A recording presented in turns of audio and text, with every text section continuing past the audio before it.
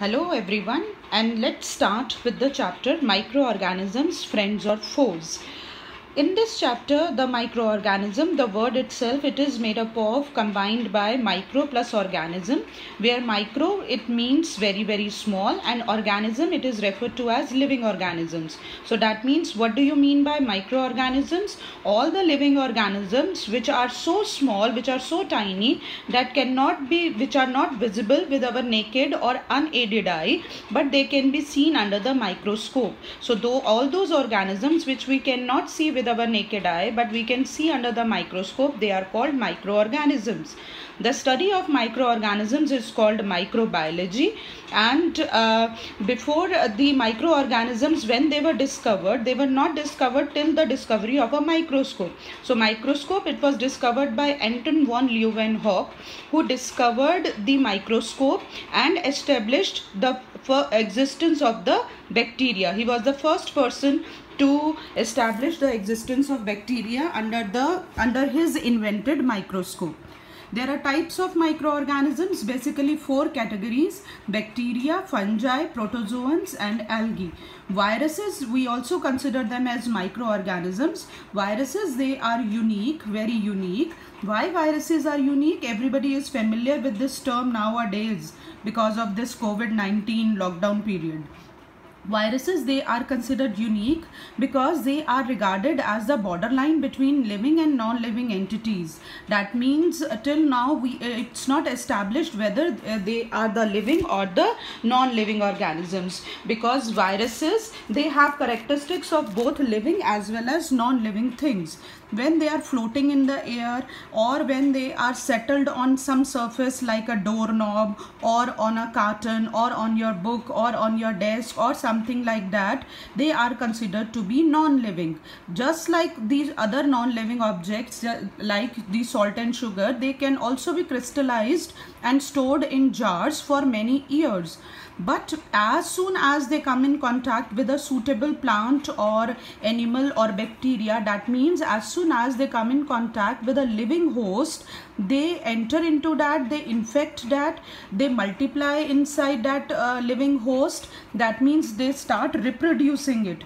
And reproduction we know it is a characteristic of a living thing that means the viruses they are unique as they show the characteristics of both living as well as non-living things. So viruses they infect the cell living host cell and they quickly multiply inside it and uh, reproduce inside it.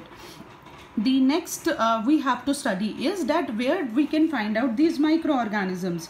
These microorganisms they can be found in the all everywhere around us. Every everywhere around us and in our whole body we can have the microorganisms.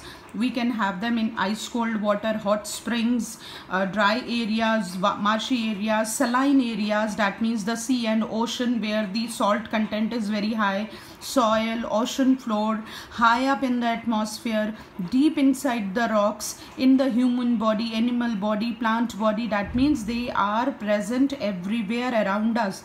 In our body also they can be found in the armpits, in the nose, in the feces, in the saliva. That means our body it's a carrier of millions of these microorganisms then we have to discuss in detail what we have to do is the role of these microorganisms in our day-to-day -day life in general when we talk about the microorganisms then we say that these microorganisms they can be friends and they can be our foes. Foes means enemy right? That means some microorganisms are there which are very useful for us. That means beneficial for us. Whereas the other microorganisms they are we consider them as enemies. That means uh, they are harmful for us.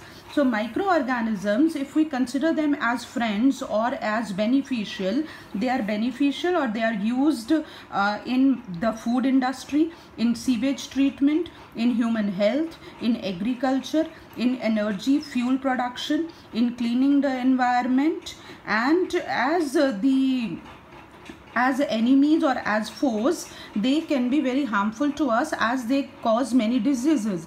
Like nowadays we often hear about this uh, um, in this lockdown period about covid. We have also heard about the dengue and malaria right? And the when many other diseases like even the common cold and everything uh, else so it can cause diseases in humans diseases in animals diseases in plants and even food poisoning. It is also caused by the microorganism. We have to do them in detail. Let us do them in detail one by one. Microorganisms they are uh, very beneficial to us in in the food industry also or in our day-to-day -day life. While preparing food we can use these micro beneficial microorganisms like first is that they are useful in making curd and cheese the lactobacillus bacteria which is a bacteria it, it helps in converting the lactose present in the milk and to change it into the curd. So whenever your mother or you whenever you are uh, trying to prepare curd then you take a small amount of the curd and add it into, into the lukewarm milk. So what actually you are adding? You are adding a small amount of lactobacillus bacteria into the milk which will change it into the curd. So the curdalization of the milk it happens because of the lactobacillus bacteria. There are some other bacteria and fungi which are involved in making the cheese. So the cheese making industry, they also use the microorganisms, the bacteria and fungi to prepare cheese. Next is fermentation uh, students what is fermentation? Fermentation means um, like there are uh, fungi like yeast. These fungi which are uh, called yeast they reproduce rapidly and they produce carbon dioxide. So we use this property of this fungi yeast to in the baking industry. What do we use? We mix these yeast into the uh, bakery products while preparation like the idlis and dosas and the other which are used to prepare the breads and all. And when these uh, yeast they uh, are used in these making of idlis and dosas then they reproduce over there very rapidly and they produce carbon dioxide.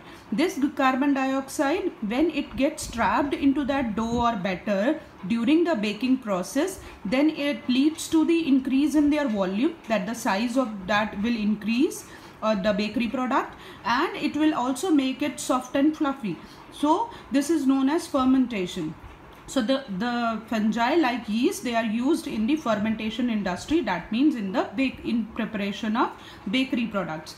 Then we have alcoholic beverages. In alcoholic beverages, the fungi again the yeast, same fungi, the yeast and there are some other microorganisms, uh, mainly bacteria. They help in manufacturing of alcohol, wine and acetic acid from the foods which contain sugar.